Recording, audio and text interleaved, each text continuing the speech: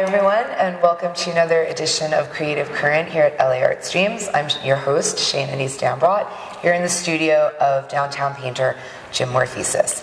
Hi, Jim. Hi, Shana. Thanks for having us in today. It's my pleasure. And uh, well, I, you know, I guess we might as well just jump right into the new work because that was the reason that we thought of speaking with you now. As you're getting ready for a solo show at the end of January at Garboushian Gallery in Beverly Hills, but. Uh, the work is still here in the studio, so we had a kind of a rare opportunity to get a little preview up Yeah. close of the new work. So I definitely would like to start with that, and then maybe we can go back and kind of put them in context because these uh, are incredibly beautiful, very rich, very symbolic work, and there's things about it that make it obviously your you know your painting, like the way that it's done, and yet there's also a lot about this show that is different from what Yeah, you've done before. So uh, we're speaking now about the Rose series, which probably the audience by now has seen a few uh, images of, so they're they're caught up. They know what we're talking about. If you could just describe what's going to be in the show, because I know the numbers and dimensions and kinds of things like that are as important almost as the paintings themselves. Well, it's a different show for me. I've never done one quite like this. All of the paintings on panel are the same size. And not a 26 huge inches size. square. 26? Mo- mm, well, I used to say tiny size. Well, They've now grown to moderate because they take so darn long, but 26 inches square Which for on you wood panel is, kind of itty bitty. I mean, people It's- think to Morphesis, it's this big, muscular, crazy work, and these are I've much had to- smaller, much tighter. I've had to rein it in. So the muscular part is in the petals. Yes. So they're supposed to look like flesh. They are. Heavy very fleshy. petals that are very fleshy, mm-hmm. muscular, wrinkled, and weigh a lot more, and seen a lot more time than an actual, you know, petal. You know, mm-hmm. years instead of just days. So th- they're different that way, and they're the pain in the neck to do. So I have to start I off. I love like you talk about it like it's not up to you. I had to rein it in. They're just different. like it had nothing to do Well, you know, I all. think what happens is that it starts, you find something in your work that leads to something else, to, to something else. But then at some point, when I was doing these, they were a little too loose, a little too playful. And uh, I could either go more abstract, in which case I'd lose the rose image. You can't get too loose with them, otherwise, it just ends up to be a blob. And these were an important memento mori image for me. Uh, you know, the rose, I, I been doing crucifixes and skulls and even bleeding hearts. So this was something a little different. In some way, they were more accessible, and that's something I wanted.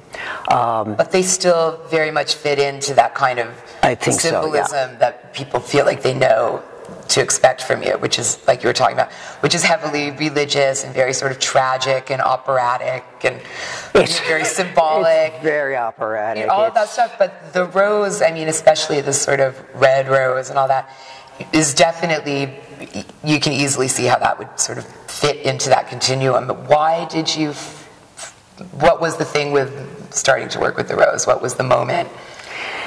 It's you know I've used it on and off. Even when I did these large, uh, you know, see them in the corner of the studio, these uh, sides of beef, which were very abstracted. Rose images and floral images started to just emerge. So it kept telling me they were there. But I, I it also was a conscious decision to come up with a memento mori image that was accessible, immediately recognizable. It's a rose. It sucks you in. You think you know what it is, but I wanted them to be very intense, beautiful, but then disturbing. They are. And the more you look, the more dis- thank, thank you. Good, that's good. The more disturbing they get, uh, and that's also why I use, for the first time since the mid '70s, a square format because I wanted them to kind of feel like a target. I wanted you to be. I wanted them to be jammed right into the picture plane, and once you're there, you can't quite get out. Yeah, they really are. They have a feeling of, you know, there's some, a little bit of cropping, just enough to let you know that it's a sort of an artificial boundary, the square. Towards the edge, they get looser. I, I think, you know, towards the center, you can't lose the rose image. You can't get too loose with it. So I start off very slowly, painstakingly rendering those great little folds within. And as the rose opens up, they become looser and tougher and they start to dissolve. as they sort of literally do. Yeah, I, I kind of see I it mean, you know, towards. Kind of what happens, right? They start Yeah, exactly, yeah, and then they- exactly. And then at a certain point, it goes past this fullness, and they start, and it starts to kind of disintegrate. and then they're off into what you don't know. And towards the center, it's more about what you do know. E- even technically, you know how to paint it.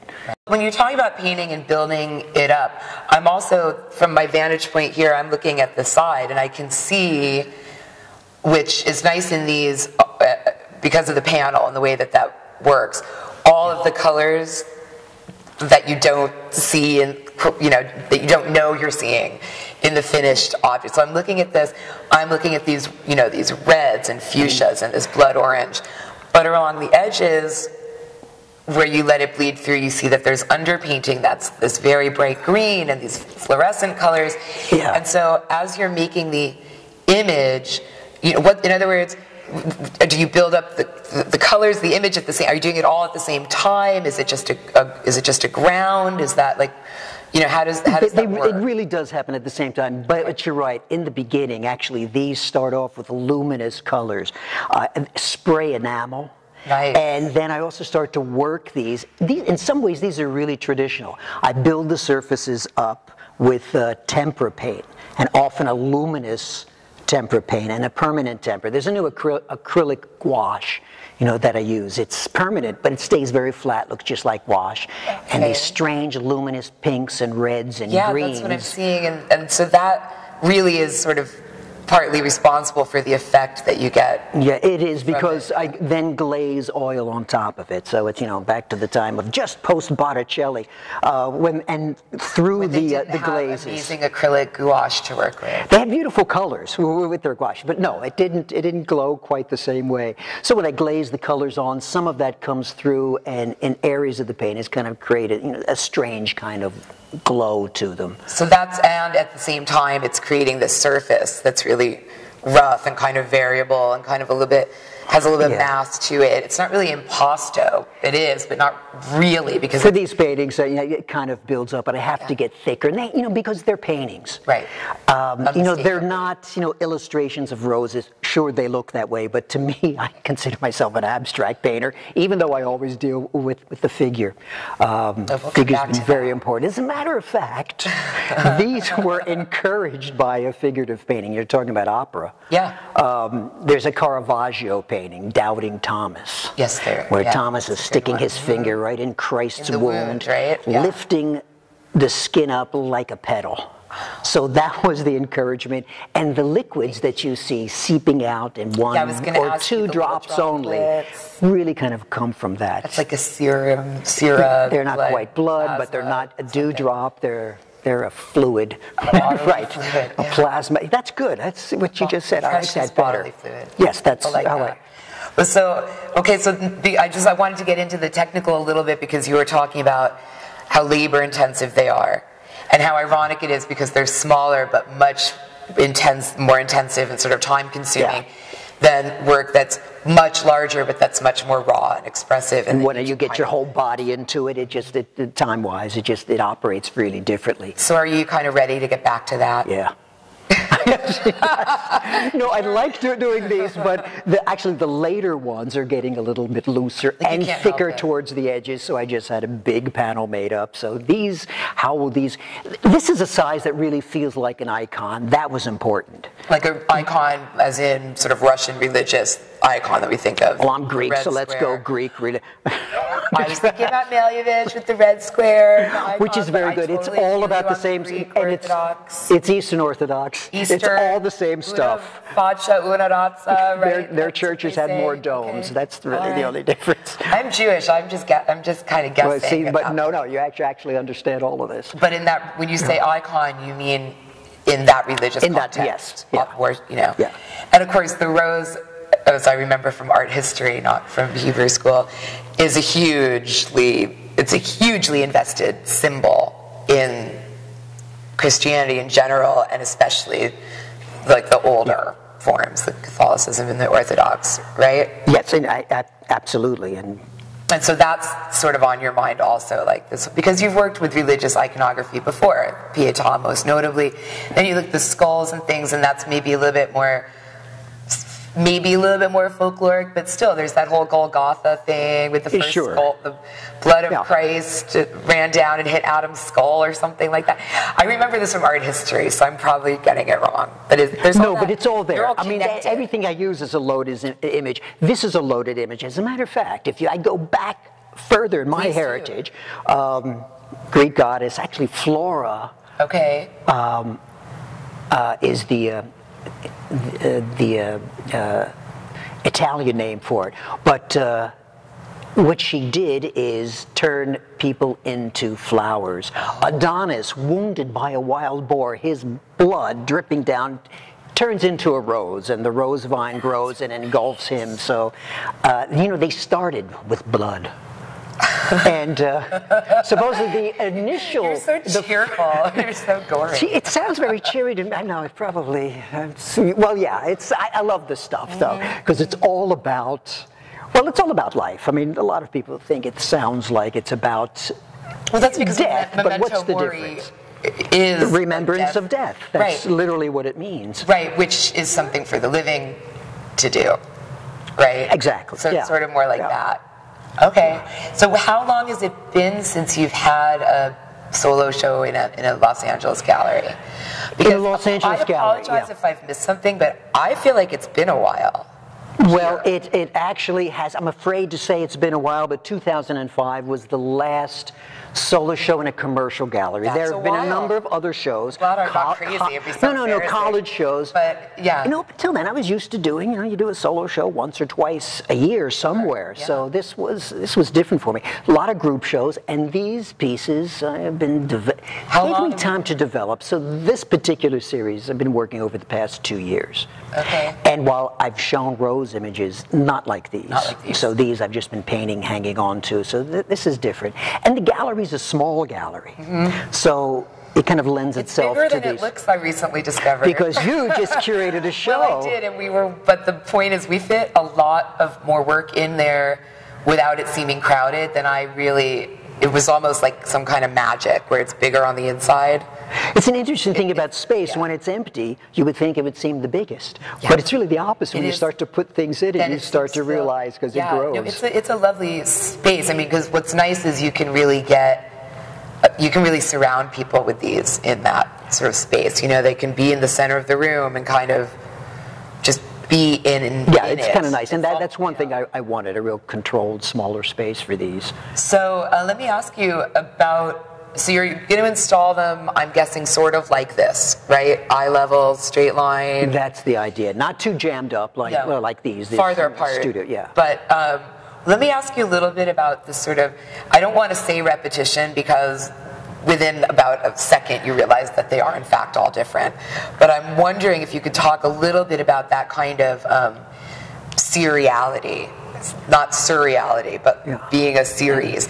Because, you know, is it just that the thing that you do to make them is something you want to do more than once, but it just kind of comes out different? Or do you deliberate about choices to make them, you know, the, the parts that are unique?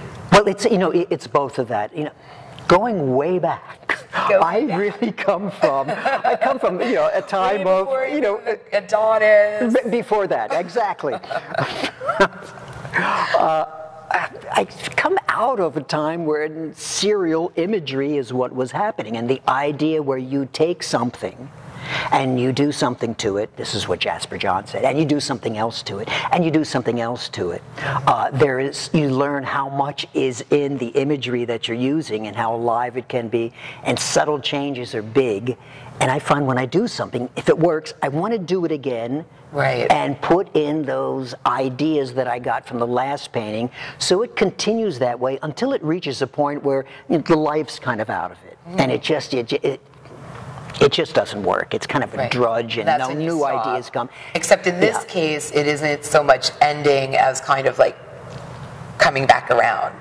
Whereas you Really, talking about how yes. it's getting, you're not going to stop. You're actually going to try to do that scary thing of loosening it up a little bit. Yeah, that, but, but of- that's also kind of a sounds natural. It, it does, but I usually find you don't just stop. At least I don't. Don't just stop and make a decision to do a whole new series.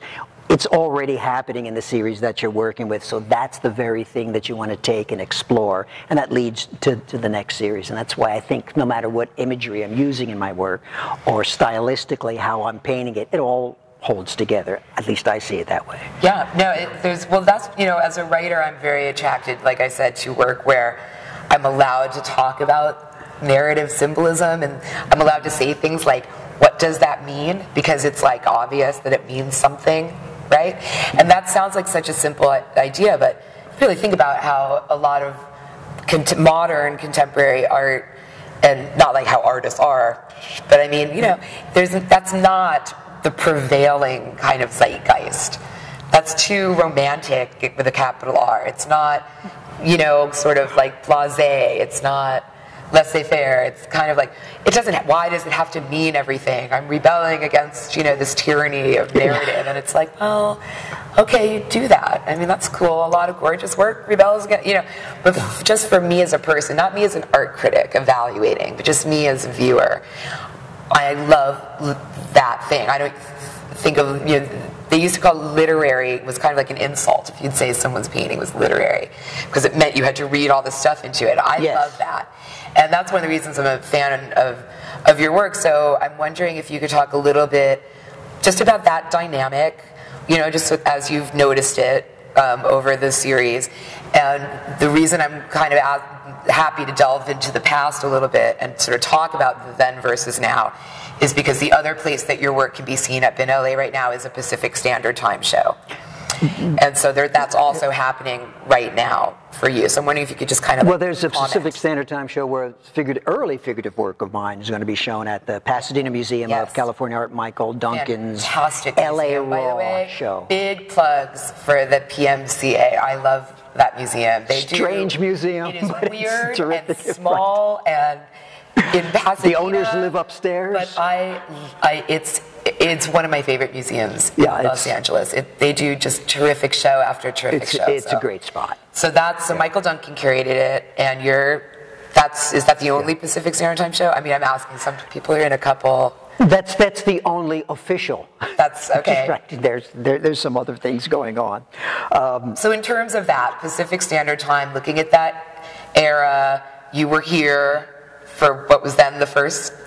I came here in 1970, I was in the first graduate class at Cal Arts. Oh my God. Every the first one. The first one. Okay. Friends of mine went back to New York to become internationally famous, and I, from Philadelphia, came out here. And after the horrors and wonderful things and horrible things at Cal Arts those first two years, I invested so much of myself. I said, you know, LA needs an East Coast painter sensibility. It sounds like a crazy thing to say, but the art world was so much smaller then. Uh, I thought I had something going here, and I wanted to make something happen here. It was the new world for me. Um, so I stayed, and everything that I planned actually happened here. It was wonderful. So when I finally did get back to New York, I made it just in time for the recession. so the timing for that was slightly off, but I wouldn't change things. The New York experience, I also made it in time to have a studio and an apartment in Manhattan. I think one of the last chances for an artist that is a dinosaur, not making millions. A distant memory. To, yes, yeah, it was.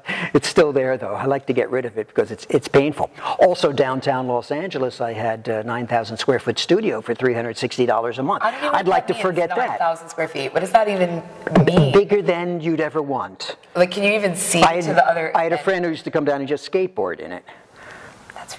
You know, it was it was ridiculous, but it was also terrific too. And so you're back in downtown yeah. now, and I mean, it's just I love the sort of um, kind of pattern of it. You know, it's like you're doing the new work, but it's edging towards the old work, and then the old work is being brought you know, back it out for, you know, for people to meet. I mean, the Pacific Standard Time shows, whatever you think of the scholarship or the sprawling nature of it, the most exciting part is getting to see this work in person either again or for the first time because yeah. it's work you've seen reproduced.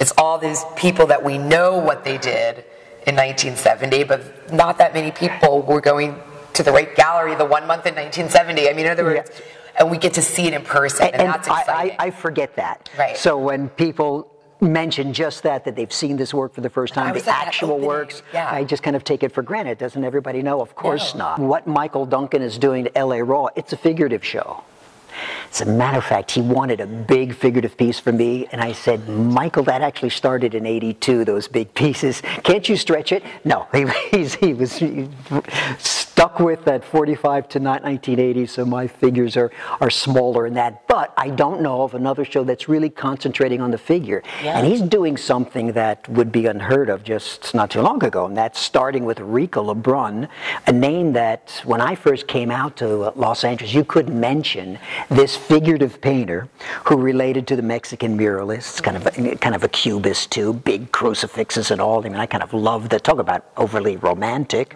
and operatic. That was Rico Lebrun. But he's starting with him. It's a courageous thing to do, and tracing the figure through Los Angeles. That's gonna be It gets forgotten, and with a lot of the really great looking work from the Venice crew that you see Mm-hmm. so much now, especially at the Getty show, uh, you can understand why.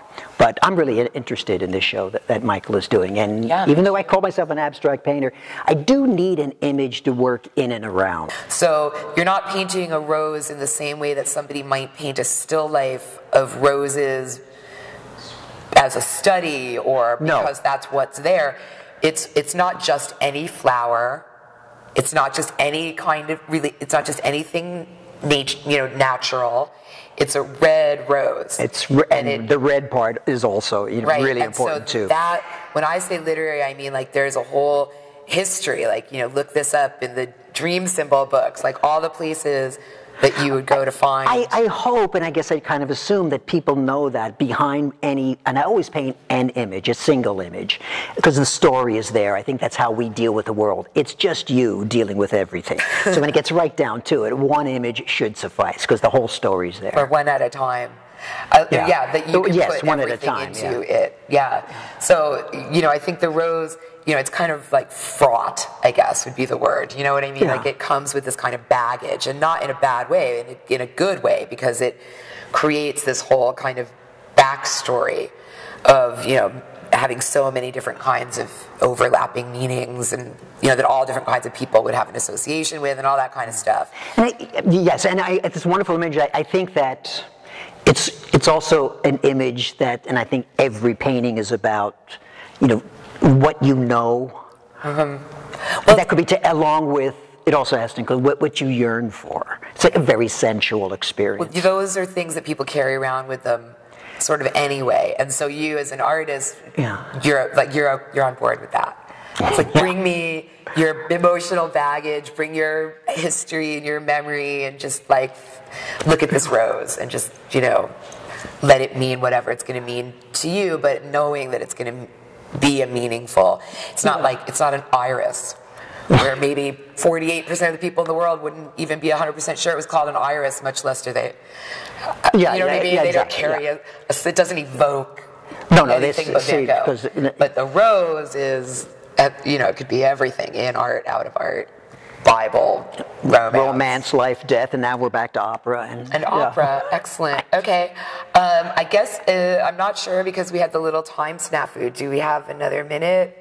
Okay, post production is my favorite thing. So, um, if you would mind, tell uh, tell the story because I think it's kind of funny how you uh, actually started working with the good folks at the Garboushian Gallery to do this show. Hirar and his partner, his wife Lori Garboushian, um, I, who are really refreshing. They are because they come into the art world differently than a lot of art dealers and uh, and other people involved in, in the art world. And uh, he also had a business, Hirar Garboushian, for I don't even want to say how many he's a years. self-made man. And the gallery is where it is because that's where he ran his business. So it's, it's it's small and and it is. No, but you're right. Have they came to it from this place of love? I mean, they're hardcore collectors. And I can't, I can't help it. Garboushian Gallery is a half a block south of Gagosian I Gallery, know. so I think the Armenians are probably taking over. I think they Beverly are. Hills I galleries. all the time, and half the time people will come in and they'll look around. They get this really confused look on their face, and you can tell in their minds they're thinking, "I thought Gagosian would be much bigger. and we're like, it's cross street, couple there. Well, that, that's good and bad, but I think it's fun. And, and they're such wonderful there. to work with. And he's, doing, he's really doing well. great. And the reason I ask is because I know he's a fan of your work, and That's how it, that's, how how, it met. started. So we met because there was an auction, Mm-hmm. a Robert Berman auction, and uh, work of mine from um, a corporate collection. Actually, all the work in this auction came from a particular corporate oh, I collection. see so everyone there. And it was a great corporate collection. In the good old days when they bought from When me a, a big double crucifix painting. So, I mean, who wants that? And I in thought their corporate, in their corporate That would never collection. happen. It wouldn't happen today. never. Wow. No, uh, I had lots of work like that in the 80s being bought, and it stayed on view for you know 25 years. 80s were so awesome. sorry, they were. They were. Art-wise, when In everyone thought that they were wealthy and felt that they needed an art collection, it gave a lot of license to artists to do what they really wanted to do. It was wonderful. But so this poor corporation, who can remain nameless if you want, had to de-accession everything or explode it or Nestle. It was the it. Nestle, Nestle. Nestle collection. I don't know why they got rid of it, but they, they I don't know if they were moving or anything. It was in Glendale. And tours came through, That's but like they the decided that's that, so the whole thing went. I don't even understand anything about that sentence. It's like my big crucifix paintings at the Nestle headquarters in Glendale. Like, I know, it doesn't I don't even make- know what that means. Okay, It, it so started, sort it was Carnation Company that actually bought it. It's milk and crucifix. Well, they go together, of or course. carnation. So you should have done carnation. you know, today I probably would have thought of that, but I don't think. I I myself don't up. think. Okay, so we're running out of time, but so basically, you're cracking me up, too. You don't have to But- tell the whole story, but Okay, basically, just you. He was there at this auction where your piece was being sold. No, I, I- and I will say this. wanted- I went to the auction because I thought there was a low estimate on my piece, and I told Robert Berman, "What's the deal here? I'm going to go and buy that doggone thing back." I don't mind saying that, so I went there. But to my surprise, there was a bidding war that started, and I just kind of, you know, Very watched nice. it happen. And the guy who ended up with the piece turned out to be Harar Garboushian. I was leaving because I was satisfied. Okay, the piece was dealt with with respect. Now I can get the heck out of here because I don't like being at those auctions anyway. Someone's going to see me. Yeah. But I said, this is a huge double crucifix piece. Who would buy that today? I've got to meet this guy.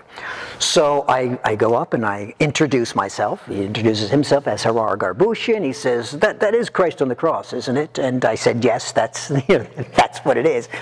And, uh, and he said, "I- I'm Armenian. I said, well, okay, so you understand all of this. The heritage is almost the, exactly the same. He was a delightful guy. He said, let's get together sometime. We did, and that's how it all And started. And he, and he and very enthusiastic. Yeah, no, he's a huge fan, and he's Yeah. so excited about showing these paintings. So Yeah, no, I'm excited about this show. 28th. It opens on the 28th, runs through February into the first week of March. Okay, perfect. So thank you so much for speaking with us today. thanks. It's been a pleasure. Thank you. My pleasure. Everyone out there in TV and internet land, January 28th at Garboushian Gallery in Beverly Hills. Come see these fabulous paintings in person for yourself. Thanks and good night.